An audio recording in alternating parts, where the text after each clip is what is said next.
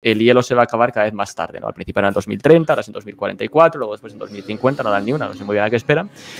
Y realmente... También han obligado a la policía sueca, que esto es gordo, a que en los perfiles de los delincuentes ya no pueden poner la etnia del agresor. Como la gente joven es más de izquierdas y tal, no sé cuál, y eso ha cambiado radicalmente. Está habiendo un cambio de tendencia clarísimo y solamente tenéis que pasar por cualquier campus y lo vais a ver. Pues digamos que poder aportar un granito de arena para cambiar este país, ¿no? que es un desastre y lo decimos o lo recordamos todos los días no por este gobierno solamente, sino lo que tuvimos antes. Y ojalá surgiesen plataformas fuertes, alternativas, que se pudiese decir lo que te diese la gana, que a día de hoy el 80% de los políticos, quitando unos pocos y muy pocos partidos, pues es enriquecimiento personal. Y es muy triste todavía. Muy buenas a todos, saludes señoros. El día de hoy traemos a la joven promesa de los creadores de contenido, a Robert SR. Muy buenas Robert, ¿cómo estás? Bienvenido. ¿Qué tal? Buenas tardes y un placer estar aquí, Miguel. placer es mío, muchas gracias por venir. ¿Cómo así te dio por lanzarte a este océano de las redes sociales a crear contenido para YouTube? Bueno, primero me ha gustado mucho la presentación que has hecho, ¿eh? lo dejó en promesa, está bien ahí. a ver, yo llevo en... O sea, yo el canal actual, Robert SR, que primero déjame hacer una apreciación, porque hay gente que se piensa que la S y la R es por señor, ¿no? Porque en inglés se dice share, mucha gente cree que es eso y por eso me llama señor también. Y no es por eso, son las iniciales de mis dos apellidos. Nunca lo he dicho, creo que es la primera vez que lo digo ahora mm, en un canal, pero bueno, es lo primero que quería dejar claro. Y yo el canal lo abrí en agosto de 2017, pero el primer vídeo que subo fue en abril de 2016, porque antes tuve un canal que eso, que duró un año y pico, que no tuvo prácticamente ningún tipo de visibilidad.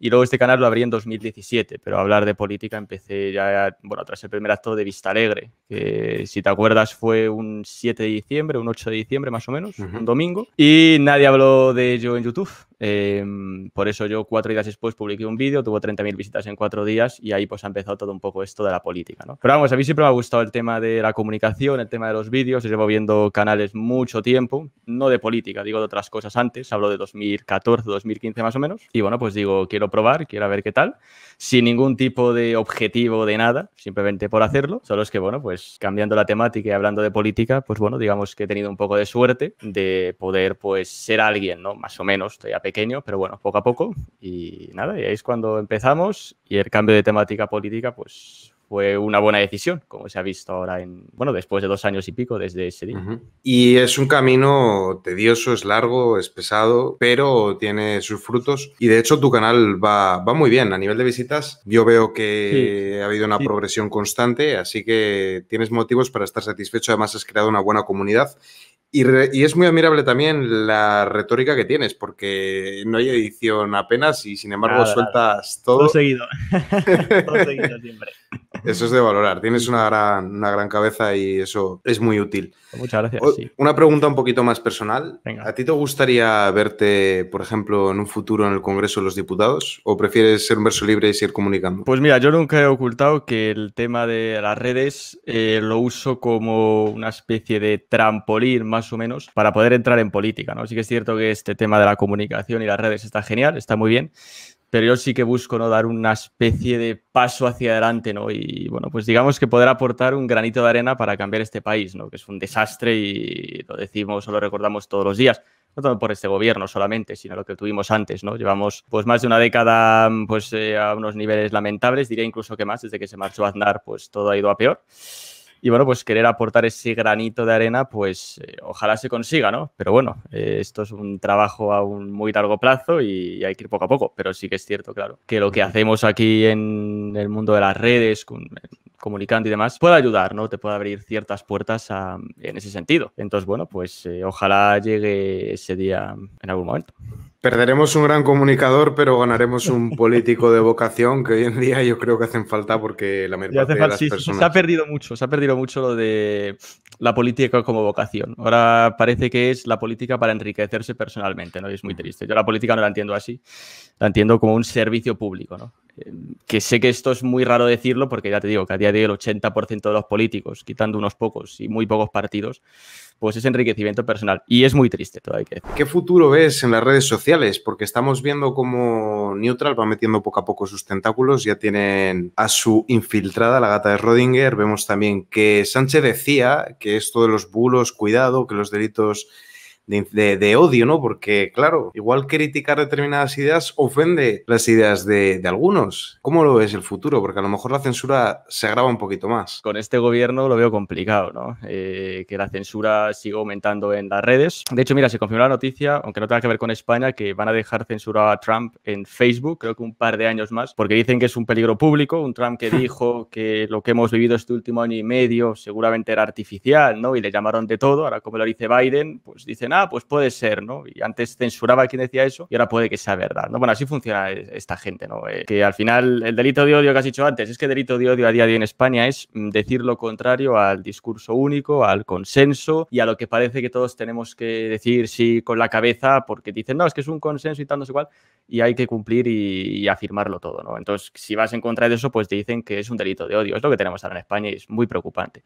Entonces, el tema de la censura en las redes con este gobierno, pues seguramente siga estando igual o más, que no puedas hablar de determinados temas, porque si no te capan o no te dejan, pues, eh, bueno, digamos, tener una cierta repercusión, ¿no? Ha ocurrido con el BLM y demás movimientos, que si los criticabas, pero sabemos lo que pasaba y tal. Entonces, hasta que no haya un cambio de paradigma, un cambio de gobierno, será difícil. En Polonia y en Hungría, por ejemplo, han sancionado o han puesto leyes que sancionen a las grandes tecnológicas y censuran. El presidente de Nigeria ha prohibido Twitter en ese país también porque le estaban eliminando comentarios. Bueno, pues hasta que no se haga algo de eso, hasta que no salgan plataformas alternativas fuertes a lo que tenemos ahora, pues van a seguir haciendo lo mismo y es lo que hay. Y aquí en España, máxime con lo que tenemos ahora, con la infiltrada de YouTube, que la ha fichado Neutrola Ana Pastor, eh, bueno, pues para decir, no, lo que dices es bulo y luego, por supuesto, ya sabemos que todo lo que te diga Neutrola que es un bulo, lo más probable es que sea verdad, ¿no? Para bulo ya están todos los medios financiados por el gobierno que no han dicho una verdad en su vida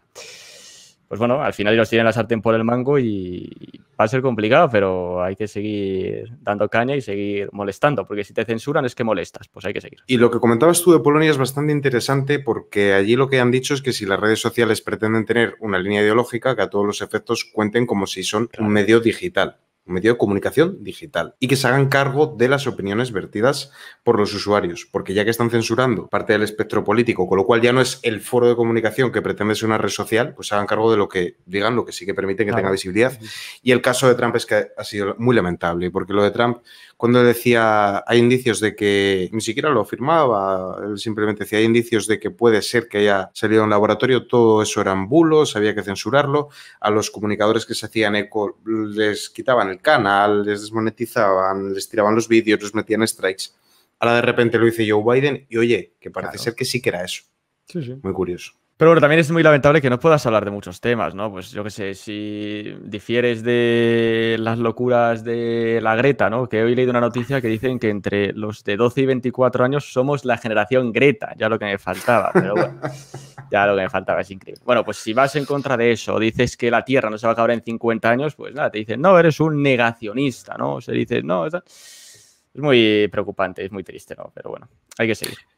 Es muy curioso cómo prostituyen las palabras. Comentas ahora lo de negacionista, que lo usan mm. para negacionista de la violencia contra X colectivos, negacionista del cambio climático, para vincularnos a pues, los, que, las, los tercerposicionistas que negaban cierto crimen que se cometió en, Alemania y tal. Y el uso que están dando las palabras, sobre todo los medios de comunicación tradicionales, ¿no? Cómo prostituyen las palabras, cómo alegremente llaman a un partido extrema derecha sin serlo y a otro lo llaman la formación morada cuando sí que son extremistas, pues hace que nuestro trabajo sea más necesario que nunca. ¿Tú qué camino crees que debemos seguir? ¿Emplear eufemismos, emplear otras plataformas, intentar darle coces al aguijón? ¿Qué crees que es las, cuál crees, mejor dicho, dicho que es la estrategia adecuada para intentar sortear todas estas piedras que nos ponen en el camino. A ver, lo de plantear eufemismos a mí no me gusta. O sea, yo sé que mucha gente lo hace pues para, bueno, pues digamos para salvar, no ver el contenido que se hace, pero a mí no me gusta llamar ecoturistas a lo que todos sabemos a lo que nos referimos ni nada. A mí me gusta llamar las cosas por su nombre y yo intento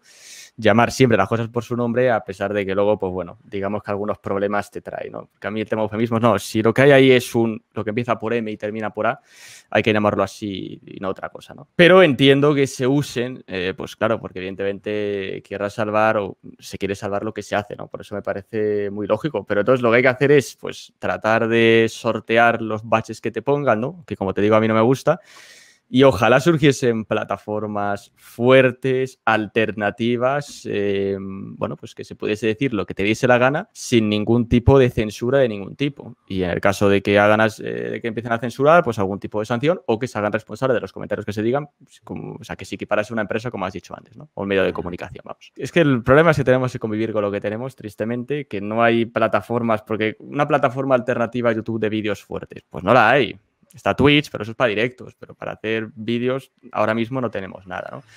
Plataforma alternativa a Twitter, bueno, Gap, tal, pero no es Twitter, ¿no? Y ahora Trump iba a sacar una red social, vamos a ver qué ocurre al final cuando la saquen en agosto. Pero claro, si hay tres o cuatro que tienen todo el monopolio y sabemos pues la línea ideológica que van a defender, quién los dirige, quién les da la pasta y que buscan ese discurso único, pues claro, al final pues es normal que haya que intentar sortear pues las trabas que te pongan en la medida de lo posible, ¿no? Pero a mí ya digo que no me gusta. Me gusta llamar las cosas por su nombre e intento todo lo posible llamar las cosas por su nombre, aunque a veces, claro, pues no puedes decirlo, ¿no? No sea que te jodan todo. Es tristísimo y además yo recuerdo cuando salían todas aquellas marabuntas de ofendidos criticando la, la que se llamó ley mordaza y que ahora callen e incluso aplaudan porque no se puede tolerar al intolerante. Esa malinterpretación que han hecho de la paradoja de Popper, pues es muy triste. Te voy a hacer otra pregunta. ¿Tú crees que se puede restituir el buen nombre de las instituciones españolas después después del daño que este gobierno le ha hecho, porque la credibilidad de la justicia, de, bueno, prácticamente todos los poderes públicos, incluso dos cuerpos muy queridos como son la Policía Nacional y la Guardia Civil, están quedando muy en entredicho. ¿Crees que con un cambio de gobierno se podría volver a, respetar la labor de los jueces, de los fiscales, de los policías, de los poderes públicos en general? A ver, es cierto que con el gobierno actual se ha perdido el respeto y la credibilidad a todo, ¿no? O sea, en este país ni independencia judicial ni absolutamente nada, ¿no? Y claro, cuando una democracia, o se supone una democracia occidental que tiene que tener una serie de pilares, pues esos pilares se pierden, se rompen y pierden credibilidad, pues es complicado recuperarlo. Es que todos los gobiernos han estado repartiendo el pastel, ¿no? Yo creo que hay que hacer una reforma clara, que los, el órgano de gobierno del Poder Judicial, que es el Consejo General del Poder Judicial,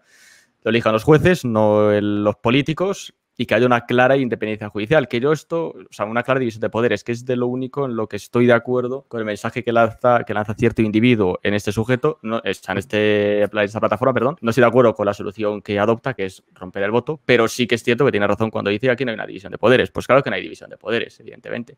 Por eso hay muchos artículos de la Constitución que no se cumplen. Y un poder judicial libre e independiente de verdad, sin ningún tipo de presión política ni de ningún tipo, es básico, es esencial en cualquier democracia, porque si no Vamos a ver, los que tienen que determinar la legalidad o no de un acto, de una actuación, de una ley, etcétera, etcétera, pues claro, si están atados de pies y manos o están presionados o ponen al amiguito del partido de turno, pues es un cachondeo, ¿no? Entonces, hasta que no haya una reforma seria de, eso, pues yo creo que no se va a recuperar, pues bueno, digamos la credibilidad, ni aunque ahora se ponga a gobernar el Partido Popular, que cuando ha gobernado ya sabemos lo que ha hecho, ¿no? Lo de los cuerpos en plan Policía Nacional y Guardia Civil, a ver, yo he visto, o sea, evidentemente están perdiendo mucha credibilidad, ahora vemos a la Guardia Civil haciendo TikToks lamentables, vemos actuaciones también muy vergonzosas, ¿no? Como corren a multar a un individuo porque no te lleva el voz al puesto, pero si te ocupan la casa, pues mala suerte. Entonces, claro, es, pues, eh, también es muy triste, ¿no? Pero sabemos eh, quiénes son los mandos que también lo eligen los políticos. Al final, los grandes partidos, los partidos de siempre, el viejo bipartidismo, que para mí es corrupción en vena, no es otra cosa, pues les interesa, evidentemente, ¿no? Controlar la justicia para que, bueno, luego digamos que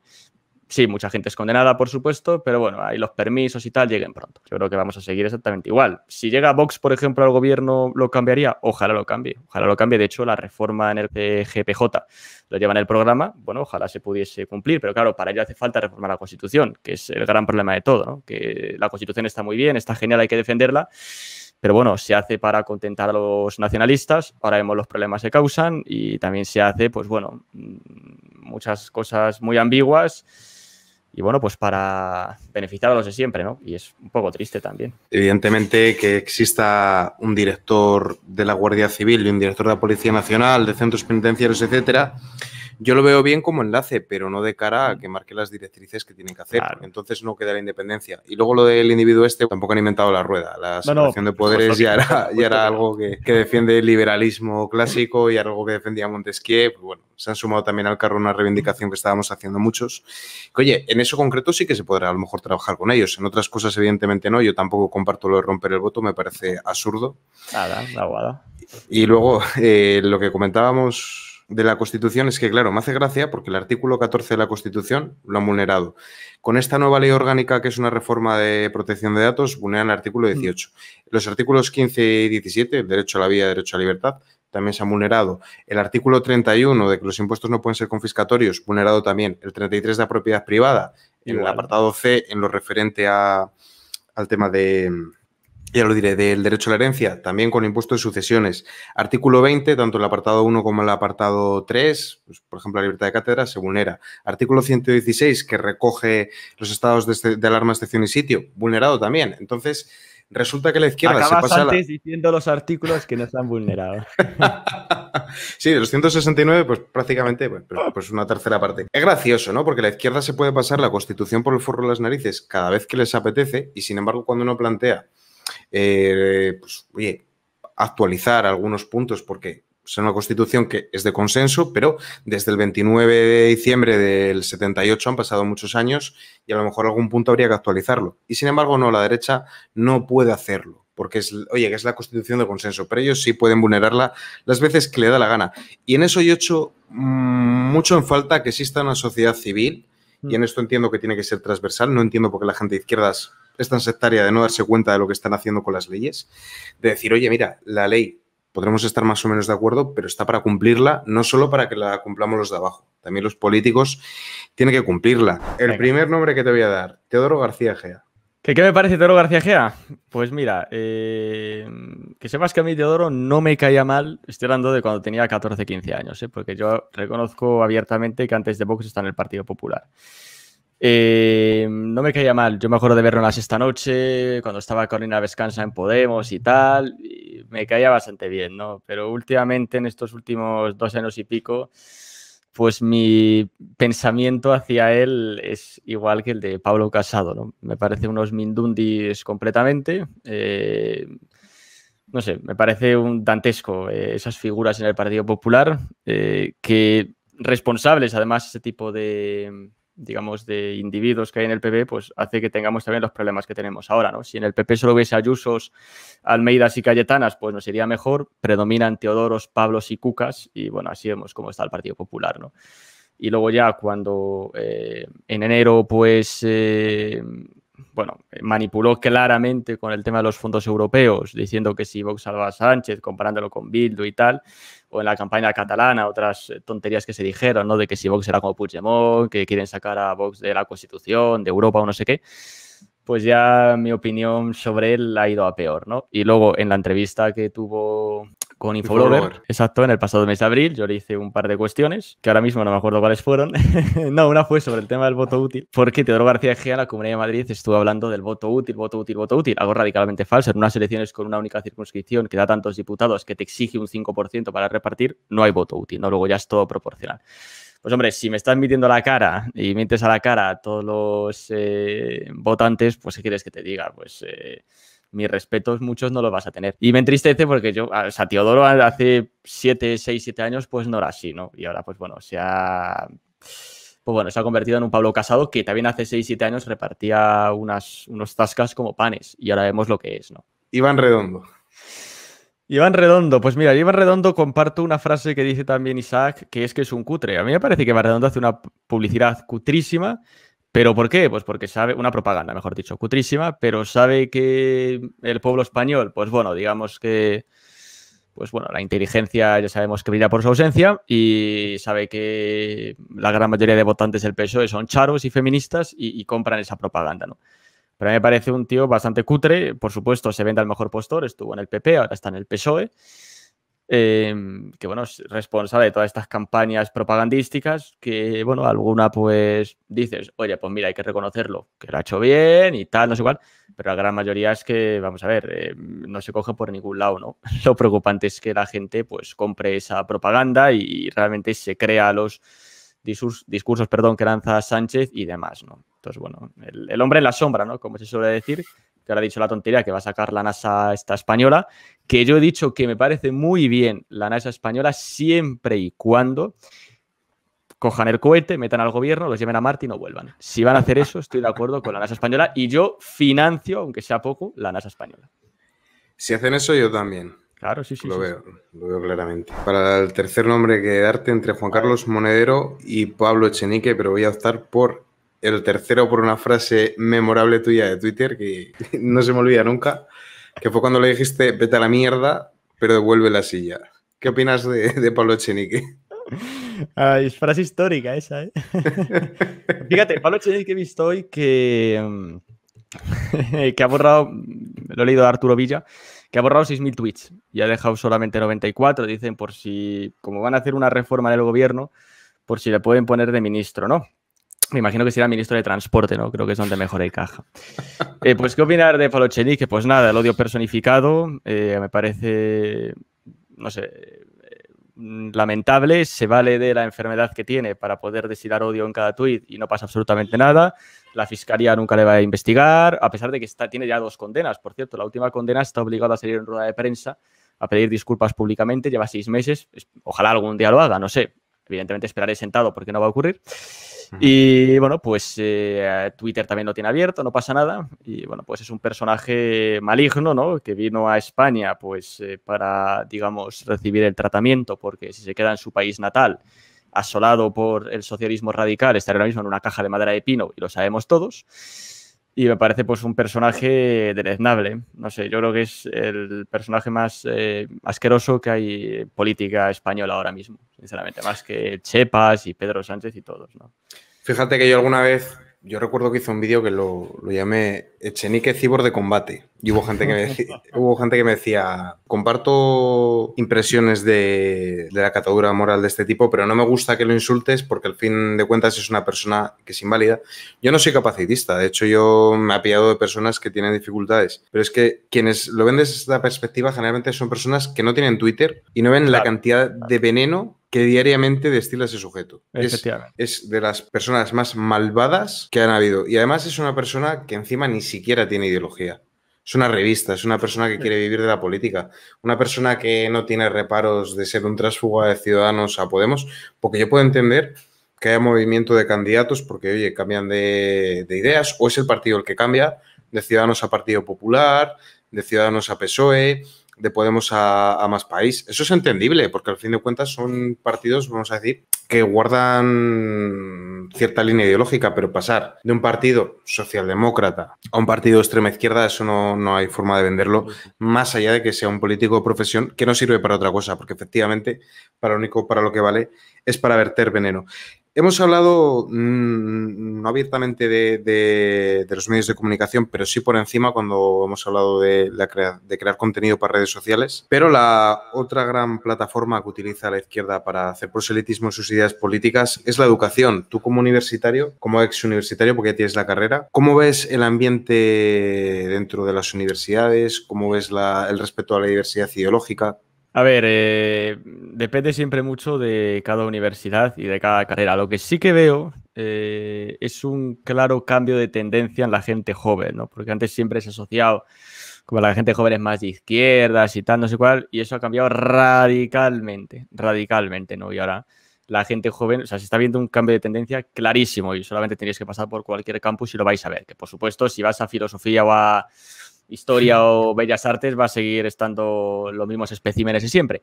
Pero en la gran mayoría de facultades ha cambiado claramente la tendencia, está cambiando clarísimamente a nivel político. Aunque es cierto que el profesorado, pues bueno, digamos que pues eh, todos tienen prácticamente o casi todos el 90% de la misma línea ideológica, ¿no? Dicho esto, a mí la universidad, y lo he dicho muchas veces, no me gusta, la verdad, porque me parece que es un individuo con el sueldo garantizado todos los meses que va a leerse su libro y después de cuatro meses haces un examen. Me parece una mierda la universidad y lo digo abiertamente. Me parece una tomadura de pelo eh, y bueno, que debería de reformarse urgentemente, ¿no? Porque realmente, no sé, no sé si es eh, el profesorado, no sé si es el sistema como tal, no tengo ni idea, pero ahora mismo la facultad, la universidad, me parece mucho más interesante incluso hacer un FP, emprender o hacer cosas de esas. Yo la universidad, no sé, creo que hay... Em, una sobre necesidad, ¿no? Ir a la universidad y tener títulos y tal, no sé. A mí no me gusta nada, lo digo abiertamente y lo he dicho siempre además. La universidad me parece un fracaso absoluto. Es muy triste que la cuarta economía de la Unión Europea, que es España, no tenga ninguna universidad posicionada dentro de las 50 primeras. Correcto. Me parece una vergüenza también comparto tu lectura. Bueno, yo hice eh, yo el FP que tengo no me sirvió para, para incorporarme al mercado laboral. No he trabajado de lo que hice, pero bueno, independientemente de eso, sí que es cierto que te preparan mucho mejor para incorporarte al mercado laboral que muchas carreras, sobre todo, no todas, pero sí dentro del ámbito de las humanidades, tú citabas filosofía, pero sí, los sociólogos, los psicólogos, filósofos, lingüistas, etcétera, pues al final suelen ser personas de izquierdas que creen que, están, muchos de ellos, no todos, evidentemente, no voy a generalizar, pero creen que están por encima de la masa del promedio, ¿no? De esa pobre gente inculta y que ellos tienen la función social de, guiarnos, porque pobrecitos de nosotros que somos muy tontos. Y además, como la sociedad no valora el trabajo tan exquisito que hacen, porque no encuentran trabajo, pues, oye, con impuestos, dicen defender al obrero, pero con impuestos del obrero hay que ponerles un puesto para que puedan realizarse, como dice también el profesor Bastos, lo de que se tienen que realizar. Es muy triste, muy lamentable. Comparto contigo totalmente el diagnóstico. De hecho, la mayor parte de, países europeos, cuando se hace la pirámide de, los títulos que, tiene la gente, hay una especie de diamante, de, de rombo, donde hay muy poquita gente sin estudios, muy poquita gente con carrera universitaria y el grueso está dentro de, de la formación profesional y luego son personas que pueden ejercer de lo que han estudiado. Aquí en España no, aquí en España tiene forma de reloj de arena, muchísima gente sin estudios, que eso es un auténtico drama, mm. sobre todo e, en un país como el nuestro.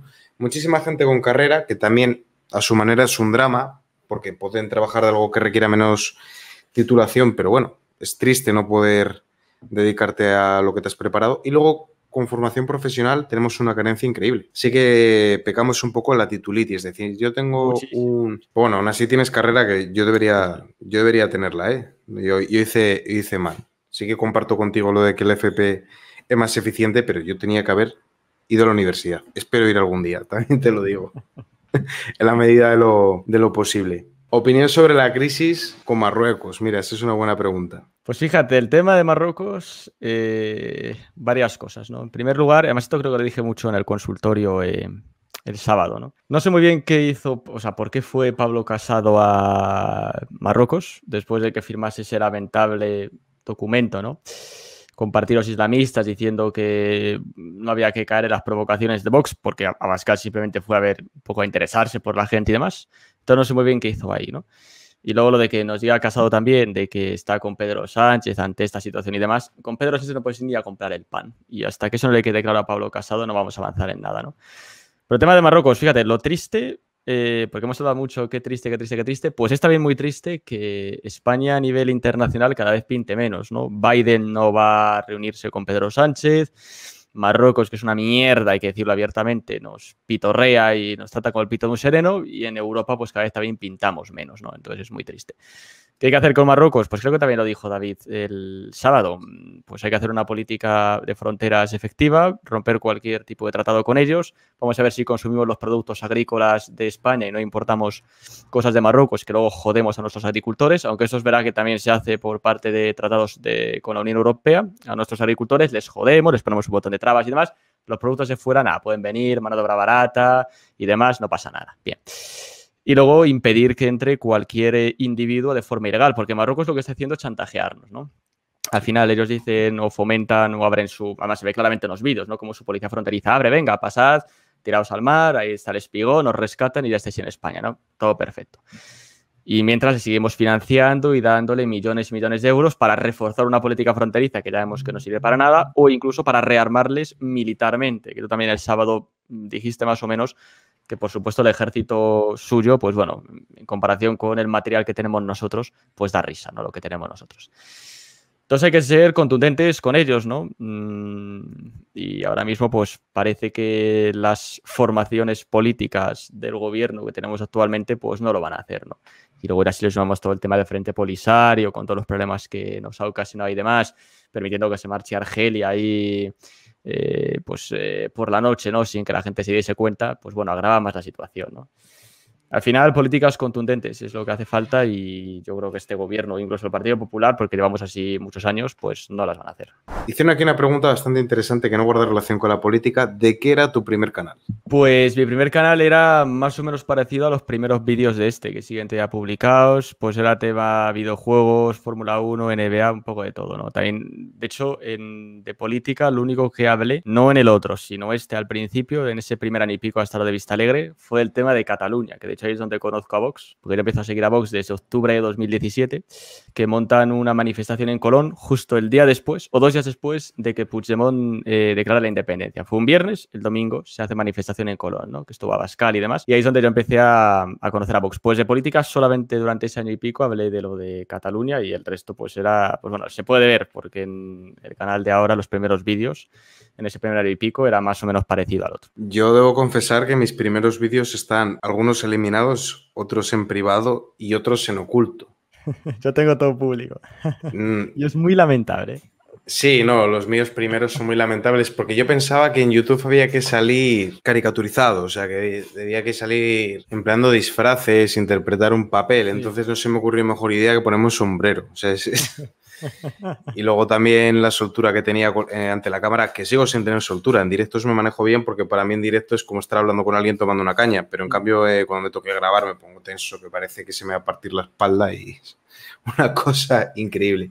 Dice Rebel GP, muchísimas gracias. ¿Cómo pueden actuar los jóvenes adolescentes si están rodeados de profesores y sociedad de izquierdas cerradas sin ponerse en peligro y que les hagan difícil la convivencia en clase. Saludos, como tú has sido estudiante en época más reciente que yo. Fíjate, a mí me escriben mucho por Instagram, porque no tengo mucho público joven, eh, me escriben siempre gente de instituto y demás, también de universidad, de los problemas que precisamente dice ahí en Rebel GP en el superchat, ¿no? Eh, pues claro, de cómo si incluso no tanto con los compañeros, también con el, con el profesorado, ¿no? Que si muestras, pues, opiniones políticas distintas a lo que piense el profesor u opiniones políticas distintas a lo que piense mayoritariamente el resto, pues bueno, lo tienes complicado, ¿no?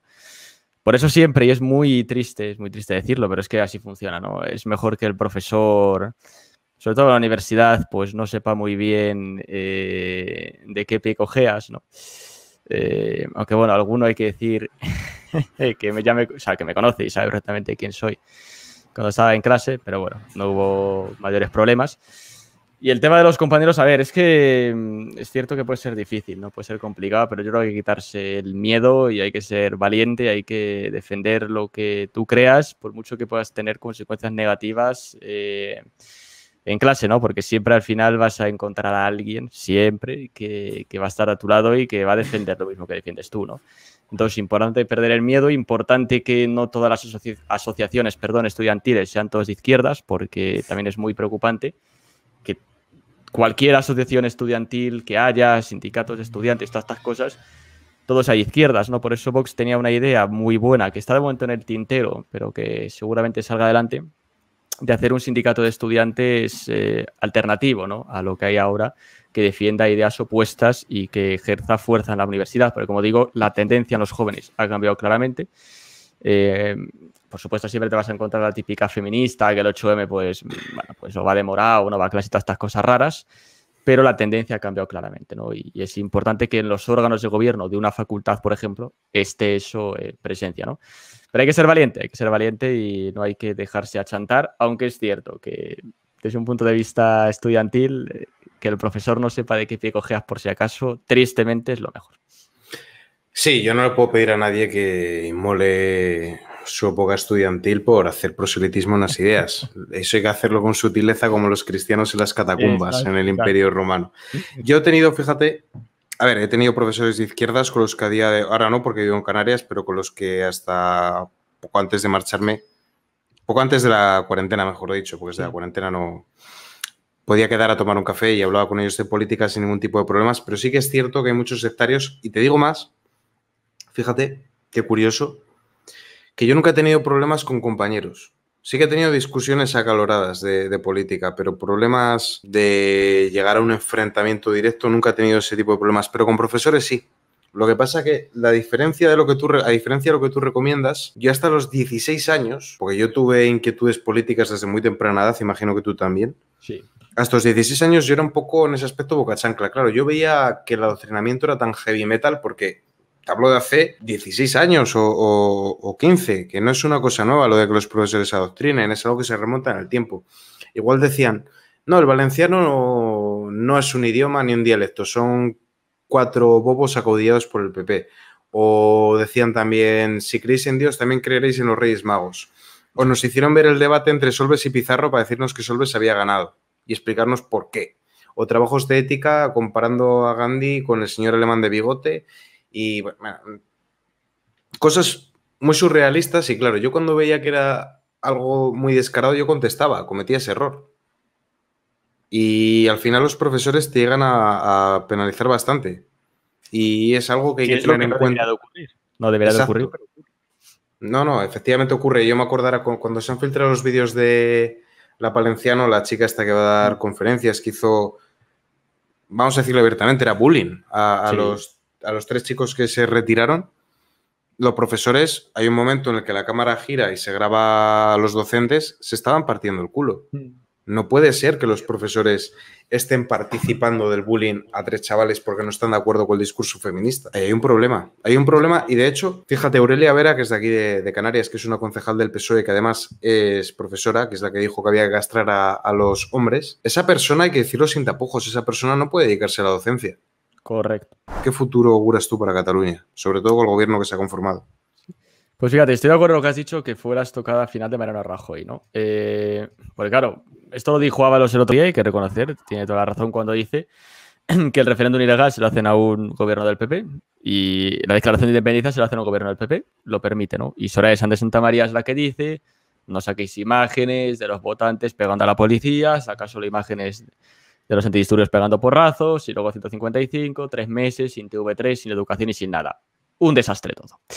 Entonces, por supuesto que fue la estocada final, ¿no? Eh, a ver, por supuesto que no van a conseguir nunca la independencia. Esto al fin y al cabo es más que un chiringuito que se han montado algunos para vivir del cuento, para seguir trincando la pasta. Eh, para seguir pues, financiando tonterías mientras eh, vemos la emergencia social que hay en Cataluña, aumentando la delincuencia. Barcelona es un desastre, o sea, tú si vas por la calle, reza para que no te pase nada casi, la ocupación que no para de aumentar, pero les da igual, ¿no? Y lo preocupante es que la gente siga votando a esos mismos, ¿no? Lo que demuestra el grado de lobotomización absoluta, que además todo parte de una mentira histórica, que es que Cataluña nunca ha sido independiente, pero con todo el adoctrinamiento en TV3 y con todo el adoctrinamiento que hay en la educación, pues, eh, y, y todo el famoso de España nos roba y todo, porque esto se retrata en muchos años, esto empieza con Puyol y demás, ¿no? España nos roba, España es muy malo y tal. Cuando precisamente quien tenía toda la pasta fuera era él, que no entiendo, bueno, pues nada, se ha ido de rositas como casi todo. Y cobrando comisiones del 3% de todas las transacciones económicas que se hacían en Cataluña. Exacto, correcto. Pues al final es que el independentismo es eso, ¿no? Eh, pues es vivir del cuento y se une mucha gente a ello. Rufián decía que iba a dejar el Congreso 18 meses, lleva no sé cuántos años y no se ha ido. Eh, los indepes dicen que España es muy malo, pero bien que esté en el Congreso y bien que cobra el sueldo español. La CUP anticapitalistas, pero no renuncia al sueldo español. Ana Gabriela anticapi se fue, se fue a Suiza a vivir, ¿no? Y ahora es una nada más casi. Pues no es más que enriquecerse, ¿no? Y lo triste, pues, es que engañan a mucha gente y la gente le sigue votando mientras sigue viviendo una mierda, por supuesto, porque no soluciona absolutamente nada. Solo han provocado, como bien has dicho, fractura social que va a tardar tiempo en, recuperarse, pero es que la solución a eso tiene que ser contundente. Eh, y esto ni es un conflicto político, ni mesas, ni diálogos, ni la madre que los parió. Aquí el único diálogo es con el Tribunal Supremo, Guardia Civil y Policía Nacional. No hay más diálogo. Entonces hay que hacer soluciones contundentes ante el chiringuito este que se ha montado, ante la mentira histórica que se han montado también algunos y ante la fractura social que han provocado. Que hay que legalizar los indepes, primero porque además van en contra de la Constitución claramente y hay motivos más que suficientes en la ley de partidos para ilegalizarlos, se hace. Que hay que declarar organización criminal a todos estos, eh, que no me acuerdo cómo se llaman, los CDR y todos estos grupos que se crearon, se hace. Sí, toda esta gente. Y si hay que adoptar o poner un 155 permanente, se pone un 155 permanente. Pero hay que adoptar medidas contundentes porque si no, esto va a seguir igual. Va a seguir igual hasta que no haya una ingeniería social alternativa. Han sido muchos años de ingeniería social a base de adoctrinamiento continuo en todo en el sistema educativo, en los medios de comunicación, pues lo que hay que hacer es una ingeniería social a la inversa. Y este problema pues, se va a solucionar cuando después de muchísimos lustros y muchísimos años, pues esa ingeniería social eh, sea efectivo. hubo una herramienta que se llamaba Ciudadanos, que gana unas elecciones contra todo pronóstico, aunque no consigue un gobierno, porque el objetivo de Ciudadanos tenía que ser frenar ese independentismo, que no nacionalismo, porque son independentistas. Eh, y claro, pues, ¿qué es lo que hicieron? Ganan las elecciones, huyen de Cataluña, se van a presentarse al Congreso porque creen que le pueden dar el sorpaso al Partido Popular a nivel nacional, porque es cierto que antes de la moción de censura todas las encuestas decían que Ciudadanos ganaría las elecciones, motivo por el cual también Rajoy no las convoca y pone el bolso de Soraya y ahora tenemos lo que tenemos, Rajoy también es responsable de ello. Pues eh, claro, Ciudadanos no ha cumplido su trabajo, se marchó, ahora no existe y bueno, parece que Vox como primera fuerza nacional tiene que recuperar eso, ¿no? Pero el problema en Cataluña se va a tardar en resolver mucho tiempo y hace falta políticas contundentes. Y ahora no se va a hacer porque hablan de mesas de diálogo. ¿Diálogo con qué? Como si fuera otro Estado, como si fuera esto política internacional. Pero qué broma es esta. Pero ocurre lo mismo con Euskadi, con, con, el PNV y demás. Y ya de Fijón ni hablo porque te van a declarar la independencia, pero bueno, casi va por el mismo camino. ¿no? Y eso también se ha permitido, primero, con una constitución o con una normativa que siempre se ha querido beneficiar a los indepes, que siempre ha tenido beneficios fiscales, etcétera, etcétera. Y luego además con una ley electoral que sobre representa claramente a esos partidos en el Congreso. No puede ser que el gobierno de la nación lo decida siempre Esquerra o el PNV. Es que ya está bien la broma. Y todos los gobiernos los deciden los mismos, que es un porcentaje ínfimo de la población total de España. Y así no se puede ir a ningún sitio. Entonces, hasta que no haya reformas y políticas contundentes, el problema va a seguir ahí. Diego Ramón Díaz de Mendiola, pues yo desde la adolescencia he sido liberal conservador. No sé, a lo mejor he hecho algo mal. Yo siempre he sido lo que, por hablar unas coordenadas políticas que maneja la mayoría de derecha. Sí que es cierto que he ido transitando por distintas corrientes, pero tampoco he sido nunca de izquierdas, no sé tú. No, yo nací facha, lo digo siempre. Eso es bueno. Así no tenemos que pasar por ese proceso de cuestionar todos los sesgos de confirmación. Y, y a mí cuando se ponen a hablar ahora de los géneros y demás, yo, es que, ¿de qué me habláis? Yo me quedé en los cromosomas. Yo me quedé ahí. En XXX sí. Yo de ahí no he pasado, entonces ahora cuando me sacan las banderas estos y los tipos de géneros. Yo no me entero de nada y además te digo, ni quiero enterarme. Luego agenda, pasa agenda 2030 es lo que se viene ahora. Eso, eso también es preocupante, la delegación de, soberanía, no ya del individuo en el Estado, que eso también es una cosa que me cabrea bastante, que terminen imponiéndome cosas, sino ya incluso la soberanía del país que conformamos, que es España, en organismos internacionales y grupos que nadie ha votado, porque yo veo ese brindis al sol que hace, ¿no? Mira, vamos a plan de industrialización para España. Ah, mira, eso suena bien. España financiará con no sé cuántos millones de euros a la industrialización de África. Y, dices, espérate, porque no sé, o, tengo un problema de comprensión lectora o no se corresponde el titular con el pie de página que estoy leyendo ahora. Luego el foro de Davos, gente que no sabes quiénes los han votado, que hablan de transición ecológica y de que la gente no tiene que hacer vuelos cortos, pero ellos sí, ellos sí tienen derecho a volar. Por supuesto, ellos sí, por supuesto. Y es muy preocupante. Y aparte es que tiene un tufo neomaltusiano, pero también eugenésico, o sea, de, pretender regular la población, porque es que hay mucha gente en el mundo y dices, oye, ¿y quién carajos eres tú? Yo decir una palabrota y, y, me gusta ser educado. ¿Quién eres tú para decirme a mí si puedo no tener hijos? ¿O cuántos años tengo que vivir? ¿O si puedo no comer carne? ¿O si puedo no viajar? Pero tú, ¿quién narices eres para decidir sobre mi vida? Y luego vemos que tú depositas efectivamente un voto en la urna, pero luego las decisiones vienen derivadas de directrices que plantea la ONU o la Unión Europea. Sí, sí, sí, sí. En fin. y fíjate, el tema de la transición ecológica nos lo van a meter ahora con calzador. Ya verás cómo los medios van a ir poco a poco durmiendo a la gente, lobotomizando, a decirte que hay que cambiar los hábitos, porque si no la tierra se acaba, pero la transición ecológica es muy cara, por eso hay que subir impuestos, porque hay que empezar a pagar renovables, no sé qué, no sé qué, no sé cuál. Y al final así funciona siempre. Es que sin la colaboración de los medios esto sería imposible, ¿no? Y colaboran todos por pasta y subvenciones y van a empezar claramente, bueno, ya te he dicho antes al principio que somos la generación Greta, ¿no? Van a empezar claramente a lobotomizar y a dormir a todo el mundo, ¿no? Pero bueno, he, he rescatado, que lo he puesto por stories de Instagram, un hilo en Twitter eh, que rescató un diputado de Vox sobre los medios de comunicación, sobre los científicos, ¿no? en, estos temas, como los años 70, 80 pronosticaban una glaciación que iba a acabar con los humanos, la hambruna, millones de muertos y demás, y de repente, 10 años después, lo que se viene es un gravísimo calentamiento, no sé qué, no sé cuál. También he rescatado unos eh, noticias de Antena 3, porque es muy curioso, porque en función del año en el que estemos, el hielo se va a acabar cada vez más tarde. ¿no? Al principio era en 2030, ahora es en 2044, luego después en 2050, no dan ni una, no sé muy bien a qué esperan.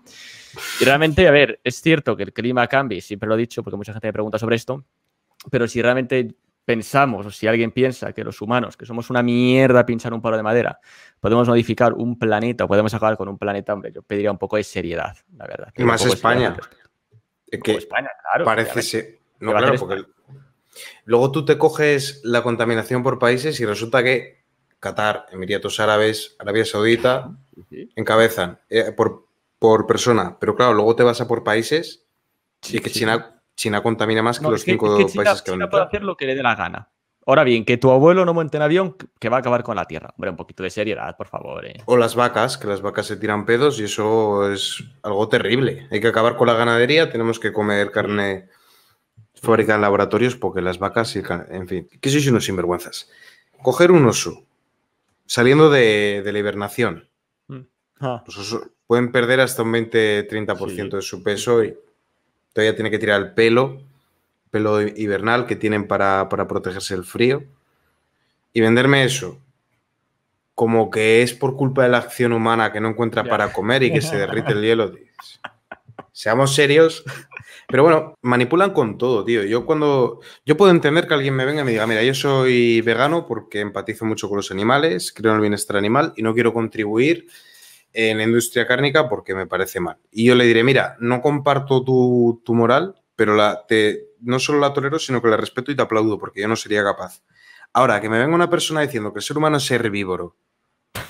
O sea, yo cuando, cuando manipulan la ciencia, que esto es una cosa que las feministas hacen constantemente, pero también lo hacen los neoecologistas, que los llamo yo, porque esto no tiene que ver con, con el origen del ecologismo. Son ecologetas. Ecologetas, exacto. Mm. Me parece tío.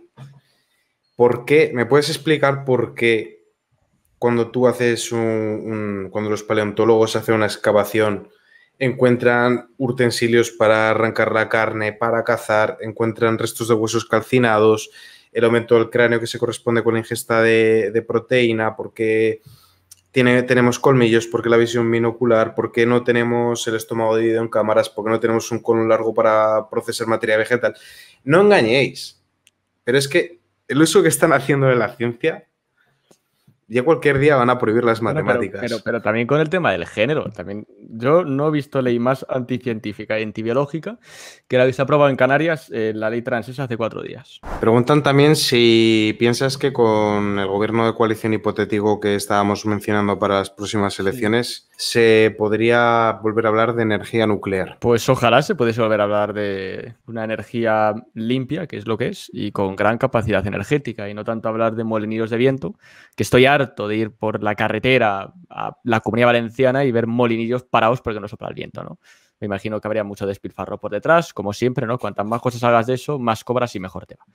Entonces, ojalá se hable algún día de energía nuclear. Con Vox seguro que sí. Con el Partido Popular, pues bueno, deberíamos saber qué es lo que quiere hacer. Es que yo no entiendo tanta alarma con eso. Yo recuerdo, de hecho, el 15M, que una de las pazas que llevaban era el tema de la energía nuclear. Claro, la pregunta lógica era, con todo con la crisis económica que tenemos encima, con el desempleo, con la corrupción de los políticos, que el debate tenga que versar en si cerrar energía, eh, o sea, plantas nucleares cuando le estábamos comprando energía a Francia y encima teníamos que pagar por la gestión de los residuos. ¿Qué opinamos de LGTB? Entiendo que se refieren al lobby político y no al colectivo. Si la pregunta es para mí, la opinión que tengo es que yo, de qué orientación sea cada uno, con quién se vaya con uno a la cama, es algo que me es irrelevante, pero el COGAN, pues lógicamente me opongo, por lo mismo que me opongo al feminismo, por lo mismo que me opongo a los sindicatos de clases y por lo mismo que me voy a oponer a cualquier reivindicación socialista al margen de la excusa que tomen lo que hace la izquierda es eh, colectivizar, porque siempre lo ha hecho, les encanta y por eso colectiviza a mujeres, a los gays y tal, incluso busca el enfrentamiento ¿no? entre heteros, homos,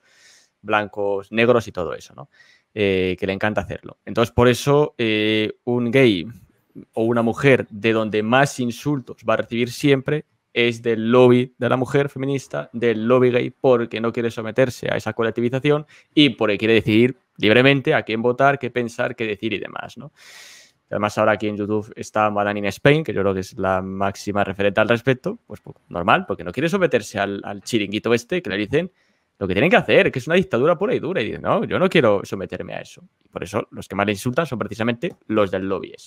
Y eso hay que, sí. son Pero es que han sido, han sido tan sucios de acuñar un término como es plumofobia para estigmatizar a todos los gays, trans, lesbianas, bi, que no simpatizan con la izquierda. Es una forma de marcar, eso es como ponerle un brazalete con una estrella a alguien en el brazo. Es que es mm. la hipoteca del matrimonio gay que puso Zapatero la van a tener que pagar hasta que se mueran o, cómo va. Es que no, no tiene ningún sentido, pero bueno, es... Mira, a mí lo que me hace mucha gracia del tema de los lobbies estos es ver la bandera del arco iris por ejemplo, en la Embajada de España en Washington, he visto una foto en Twitter. Me gustaría verla algún día en la Embajada de Marruecos, en la Embajada de Irán, en la Embajada de Dubái. Me gustaría que se hiciesen manifestaciones delante de una mezquita, en una iglesia católica que se ponen en tetas. En España están todos los derechos garantizados para mujeres, para gays, absolutamente para todos. Y que las marcas no se pongan la banderita arcoiris en países occidentales con todos los derechos conseguidos. Que se ponga la banderita arcoiris, porque hay un ejemplo muy claro, ha sido muy típico estos días, lo de la marca Renault. Renault España, bandera arcoiris. Renault Turquía, se queda lo normal. Bueno, pues eso dice mucho, ¿no? Eh, entonces, que se celebren este tipo de fiestas, eh, pues me parece genial. Pero claro, en un país que están todos los derechos garantizados, pues hombre, ¿qué queréis que os diga? Me da la risa ese tipo, este tipo de actos que tienen que hacerse en países donde no están los derechos garantizados, algo que no ocurre aquí en España, ¿no? Eh, y además que la bandera que representa a todos es la bandera de España, no la bandera arcoíris o del chiringuito, por eso hay muchos gays que tampoco compran la bandera arcoíris. Pero me resulta muy curioso, ¿no? Ver las banderitas esas, que es otro ejemplo de colectivización, en una embajada que en Madrid, ¿no? La embajada de Madrid en Washington. Quiero verla en la embajada de Irán, ¿no? Y por supuesto, nunca la vamos a ver. Y por eso también están diciendo ya muchos articulistas de por qué el voto de la mujer o el voto em, de los gays va a ir mayoritariamente a la derecha. En Francia, Marine Le Pen, que ya lo decía. Bueno, pues muy sencillo, porque la izquierda quiere llenar Europa de los amigos de la religión de la paz que ya sabemos, por mucho que haya que decir siempre que es un caso aislado para que no mente todo, ¿no? que todos los días vemos un caso nuevo de los de siempre, pues evidentemente lo que quieren ante todo es seguridad ¿no? y protección. Y no sé, llenando de individuos que, como digo, practican, pues bueno, digamos, una cultura incompatible a Occidente e incompatible con las mujeres que las lapidan y que cuelgan a los gays, pues luego normal que ese tipo, ese espectro poblacional vote a la derecha. Yo lo entiendo perfectamente. Y luego cuando confrontan a Pablo Iglesias acerca de ello, dice que, con Irán concretamente, que había que cabalgar contradicciones.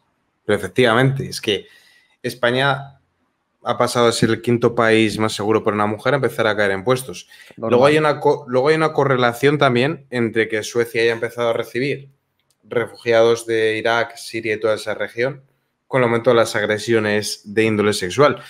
A ver, evidentemente correlación no, no siempre implica causalidad por honestidad intelectual no voy a afirmarlo, pero no tengo pruebas, pero tampoco dudas que se suele decir. Evidentemente son ellos. Lo que pasa que, claro, también han obligado a la policía sueca, que esto es gordo, a que en los perfiles de los delincuentes ya no pueden poner la etnia del agresor, con lo cual luego la labor de detención es mucho más complicada, porque tú imagínate que te llama una persona, eh, me acaba de agredir un por su sahariano, quedó con una camiseta roja, tal, tal, tal, tal, tal. La que te coge en centralita tiene que dar la orden a, las patrullas. Un hombre que va de rojo. Han hecho también dos preguntas que has estudiado y qué edad tienes. Esas ya como son de carácter personal, respóndelas si quieres y no, no. Pues tengo 22 y cumplo 23 el día de noviembre, día de las últimas generales, por cierto, 10N, y estudié Derecho. ¿Ves cómo es una joven promesa? pues nada, Robert, ya no te quiero entretener más. Eso sí, muchísimas gracias por haber estado aquí, que no es la primera vez que vienes y no es la primera vez que colaboramos. De hecho, todos los sábados o casi todos colaboramos. Además, hemos hecho muchos programas también con Nico y con Filosofía Política. También estuviste aquí debatiendo, dejando muy buen lugar. Eso estuvo muy bien el debate. Sí. Pues nada, gente, espero que hayáis disfrutado la entrevista. Muchas gracias a todos los que habéis estado viéndonos y también, por supuesto, gracias a ti, Robert. y ánimo a seguir con. Yo, gracias por la invitación. Se ha pasado muy rápido, la verdad. No sabía que éramos tanto tiempo. A Tito, su super chat. La verdadera cuestión a la hora de resolver problemas es: ¿qué haces tú para cambiar la situación? Dicho esto, ¿qué opináis de la nueva Coca-Cola? Cero. Yo, las, pues yo, me no tengo opinión de la nueva, o sea que. Yo las cogí las dos. Yo siempre estoy bebiendo Coca-Cola, que es una manía que he cogido recientemente porque siempre bebí agua. Cogí las dos y me puse a hacer una cata. Como buen riojano, tengo que catar líquidos. No, bueno, eso suena muy mal. Tengo que catar bebidas. Me puse la Coca-Cola clásica cero y la Coca-Cola nueva que han sacado. La nueva es más dulce, la antigua es más cítrica o al revés, que ya ni me acuerdo. Pero pasen a ver, señores y amigos, con un Lord de Logroño hoy Robert SR, cuando Robert entre en la política. ya tienes, no sé si te había caricaturizado alguna vez Podo. Sí, en algún, en algún consultorio. Dice Vicky que presidente Robert. Oye, a lo mejor lo vemos algún día. Oye, ¿os imagináis? Sí, no estaría mal. Yo me alegraré mucho. Espero, a no ser que cambien mucho las cosas. Espero también que no. Chao. Hasta luego.